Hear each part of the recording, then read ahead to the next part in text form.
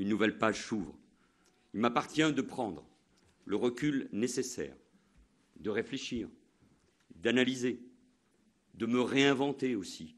Je me dois aussi d'apporter davantage d'attention aux miens, à Anne, à mes enfants et à mes amis. Car depuis plusieurs années, les responsabilités ont fait que forcément, je me suis trop éloigné d'eux.